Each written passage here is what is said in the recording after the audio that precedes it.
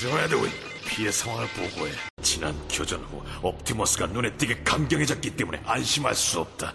악의 에너지는 내 혈관을 따라 흐르고 있다. 내 전함에도 그것을 주입한다면 마치 내 몸처럼 움직일 수 있을 거야.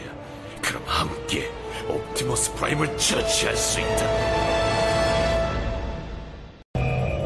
좋았어. 내게도 느껴지는구나. 옵티머스. 역시 실망시키지 않는군. 스파크 추출기 아니야. 조금 더 가까이 다가가자 내 물건을 되찾고 오토봇을 없애버린다. 뭐야? 어디로 가는 거야? 가까이 붙으라니까! 다시 변형해. 말도 안 돼! 당장 문제의 근원을 찾아내서 해결해! 경고! 전함 주제 감히 내게 경고하다니! 내 생각대로군. 바로 이거야. 역시 이 전함은 내 의지를 그대로 반영하고 움직이고 있다. 내가 너의 주인이다. 지금 당장 이 작전을 중단해!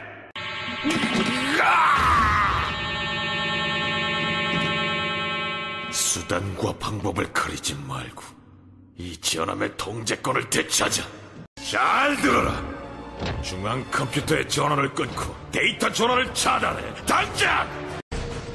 더 이상은 못 참아. 반란은 끝이다. 어, 메가트론님, 저는 네가 놈들을 놓쳤어. 중요한 정보도 뺏겼고